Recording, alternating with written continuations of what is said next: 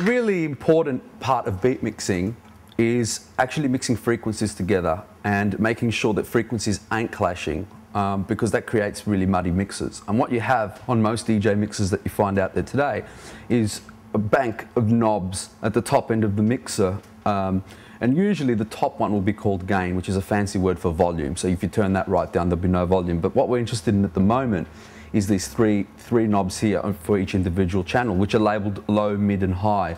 Now it's very self-explanatory if you've got any kind of EQ on, on any system. It's, it's the same thing, but it's just on knobs here. Um, so yeah, the high end or the highs are going to cut out the, the high frequencies, like the cymbals in tracks.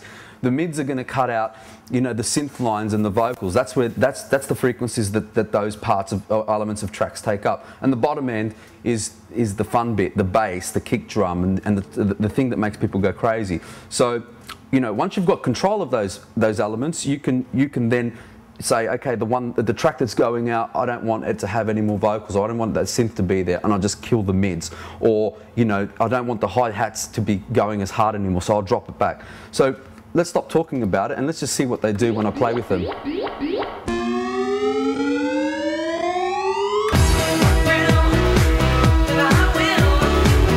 So this is the highs. So I take all the hi-hats out now. So it becomes a duller track and I can, at this point, when I'm playing the next track, I can the, the hi-hats from the next track taking over. So I'll bring them back in and I want to take the synth out here. So let's just drop that whole synth line out. You can kind of hear it, but it's more in the top end frequency of that synth line. But the bass and kick drum is still there.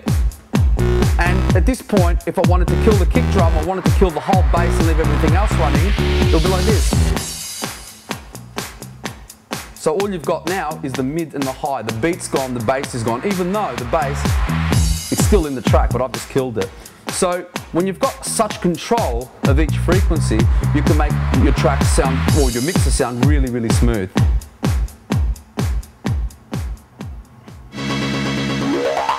So let's, let's look at how EQ is used to adjust frequencies when you're mixing two tracks together. I'm going to play, I've got two tracks set up, I've got them in loop and I've got them in sections of the record which are quite full, so there's lots of frequencies going on. So what I'm going to do is I'm going to start with this one, which has got the bass line, the synth line, the hi-hats, the kick drum, everything, and I'm slowly going to mix this one in. But what I'll do to begin with, just so it doesn't come in so harsh, I'm going to drop the bass of this and then start the mix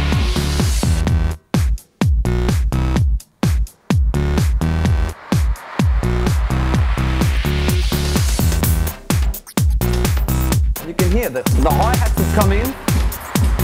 Now slowly, oh, I can do it. I can do it suddenly as well. I'll do this as suddenly so you can really hear it. I've just changed the two bass lines. I'll just change them back.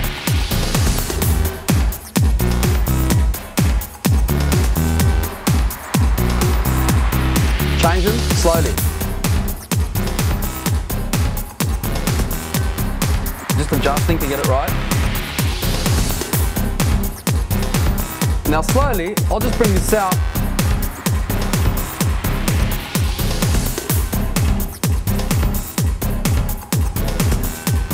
Take the hi-hats out.